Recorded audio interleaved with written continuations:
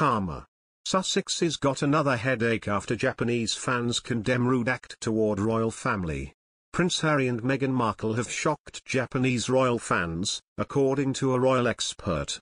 Royal fans in Japan have been left in disbelief by the Duke and Duchess of Sussex's rude behavior, royal expert Angela Levin has said. Ms. Levin has claimed that people from the East Asia country are especially interested in the Sussexes as they are shocked with their behavior. Ms. Levin wrote in a Substack newsletter, Japan is fascinated by our royal family. Every few weeks I am asked by one of their TV channels to update them on what is happening in the UK. Their key interest at the moment is Harry and Meghan and who can blame them. They can't quite believe their behavior towards the senior royals is so, well, rude. No one would behave like that to their royal family, they tell me. Harry and Meghan stepped away from being working members of the royal family last year and relocated to California where they now live with their two children, Archie, 2, and newborn Lilibet. This move shocked many royal fans around the globe as they now see the royal couple taking on various engagements away from the firm. The royal couple have major deals with companies including Netflix, Spotify and Apple TV and in July, Harry was making headlines when he revealed he has been working on a memoir. His book is set to be released early next year. Most recently, the pair embarked on their first joint engagement to New York where they attended the Global Live Citizen event to promote the COVID vaccines in the country. However, there is no known date of their return to this side of the pond. They wanted to know if he and Meghan and the two children would be coming over for Christmas, Ms. Levin continued, referring to her conversations with Japanese royal fans. I explained how tricky it would be if they did and explained that Christmas with Her Majesty ran on very firm lines. Meanwhile, a royal historian has claimed to a source, the Queen may not invite Prince Harry for her Platinum Jubilee if his memoir is too incendiary.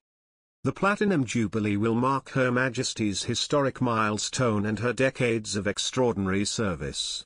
During her remarkable reign, the Queen has faced many difficult moments, from her coronation aged just 25 after her father George VI passed away, to the death of Princess Diana.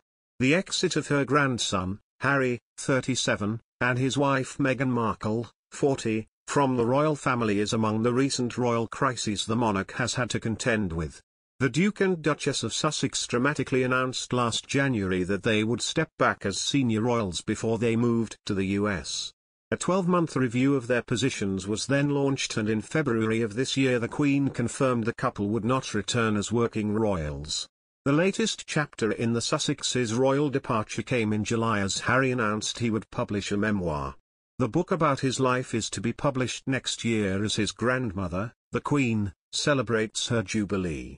And royal historian Dr. Edward Owens has claimed to Express.co.uk that Harry's invite to the celebrations is dependent on the content of his memoir. Dr. Owens is a former university lecturer and has written the book, The Family Firm. Monarchy, Mass Media and the British Public, 1932-53, which analyzes the House of Windsor's PR tactics.